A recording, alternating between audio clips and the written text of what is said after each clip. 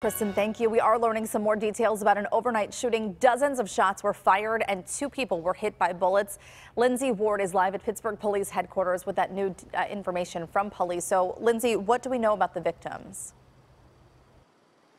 Heather, good morning. We learned from Pittsburgh police here about 30 minutes ago that two people were shot at in regards to the shooting, a man and a woman. They say they were actually shot out, shot at by another vehicle. This happened just before midnight on Arlington Avenue.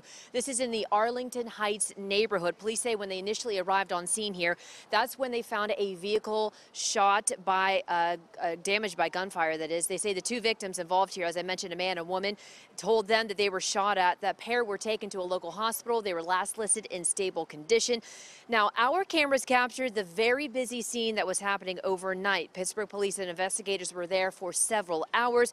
Numerous evidence markers were placed near a building as well, and police were also seen checking out vehicles parked along the road. Now, at this time, no one has been arrested, and there are no details on a suspect. Police say uh, they will continue to gather more information, and we hope to get that more information from them. And when we do, we will pass it along to you throughout the day. Reporting live outside of the Pittsburgh Police Headquarters, Lindsay Ward, KDKA News.